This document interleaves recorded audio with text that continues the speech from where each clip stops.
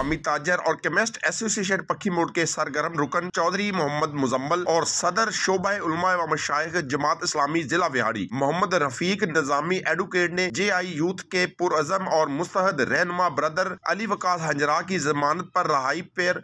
जे आई youth जिला बिहारी के उदेदरान और कारकनान को दिली मुबारकबाद दी उन्होंने राय हक में सब्र सकामत का अजीब शार मुजाहरा करने और नाहक इल्जाम के नतीजे में जेल काटे के बावजूद साबित कदम रहने पर ब्रदर अली वकास हंजरा उनके अहल खानदान की खिदमत में खसूसी तहनीब पेश की और उन्होंने इस मौके पर तो का इजहार किया कि इन